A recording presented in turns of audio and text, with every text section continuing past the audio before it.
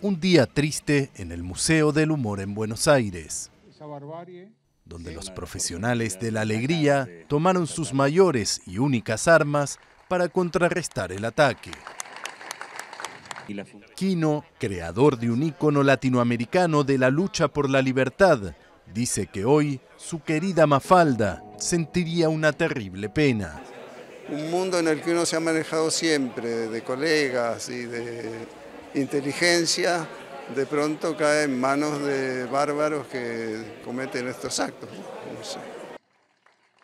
Para ellos, el ataque en París a la revista satírica francesa Charlie Hebdo, en el que murieron 12 personas, escapa toda justificación humana. Yo creo que no se fue a buscar a dibujantes, sino que se fue a buscar publicidad. Y creo que cuando la publicidad llega a este límite, estamos muy mal. El semanario francés había recibido amenazas por haber caricaturizado a Mahoma.